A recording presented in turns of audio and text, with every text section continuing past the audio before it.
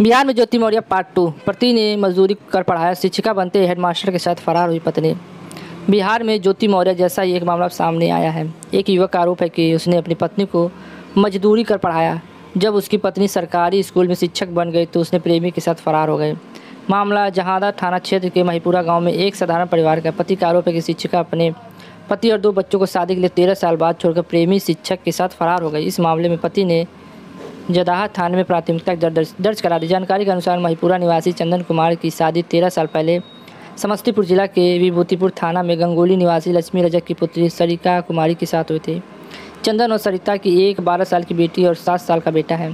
पति का कहना है कि उसने मेहनत मजदूरी कर अपनी पत्नी सरिता को पढ़ाया। इसके बाद सरिता सरकारी स्कूल में शिक्षक बन गई।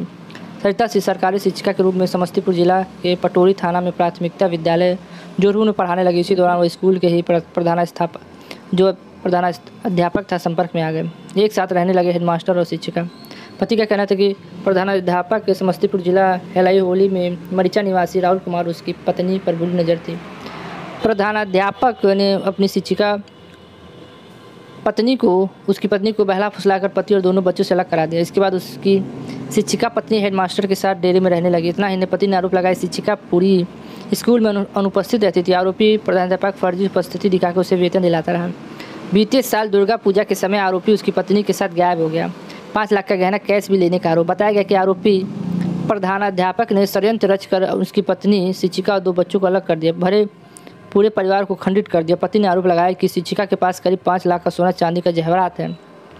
कीमती मोबाइल पच्चीस हज़ार रुपये नकदी, एलआईसी कागज़ के अलावा वेतन, मद से राशि प्राप्त हुई है, जिसे आरोपी प्रधानाध्यापक अपने कब्जे में ले लिया है। पति का आरोप जब उसकी इसकी शिकायत शिक्षा विभाग के उच्च अधिकारियों से की गई तो विभागीय स्तर से जाँच पड़ताल शुरू हुई तो आरोपी प्रधानाध्यापक ने विभागीय जाँच पड़ताल में बौखला गया। जान से मारने की दी धमकी, प्रधानाध्यापक शुक्रवार की रात करीब आठ बजे एक बाइक से दो अज्ञात बदमाशों के साथ पीड़ित पति के दरवाजे पर पहुँचा और पिस्टल का भय दिखाकर गाली गलौज और विभागीय उच्च अधिकारियों को दिए गए आवेदन वापस लेने और पत्नी को भूल जाने की धमकी दी। इसके अलावा जान से मारने की धमकी। इस मामले में महिपुरा निवासी पीड़िता पति चंदन कुमार ने जदाहा थाना के प्रधानाध्यापक राहुल कुमार के विरुद्ध प्राथमिकता दर्ज कराई। प्राथमिकता में आलोक ने जदाहा थाना की पुलिस मामले की जाँच कर रही है। जदाहा थाना एसएचओ किशन नंदन खटाई ने कहा कि पति ने मामले को लेकर शिकायत दर्ज की गई है। उसकी शिकायत और पुलिस अधिकारी मामले की जाँच में जुटी। आपको क्या लगता है कि आजकल पढ़ाना भी पत्नी को गुना हो गया है? पति का तो अपना कमेंट करके ज़रूर बताएँ। आज के लिए बस इतना। फिर मिलते नए वीडियो में। जय हिंद जय भारत।